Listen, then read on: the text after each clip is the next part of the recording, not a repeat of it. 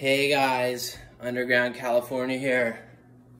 So, like about a month ago, a little more than a month ago, I saw a Nekromantix show uh, down in Santa Cruz, and uh, it was at the Vets Hall, and it was cool, man. Uh, the Messer Chups were there.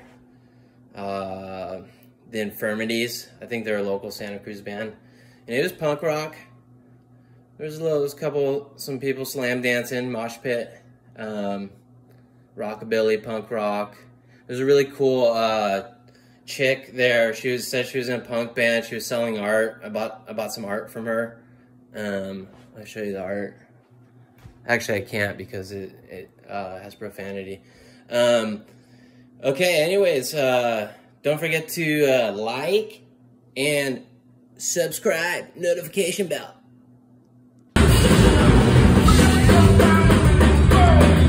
You know what's going on.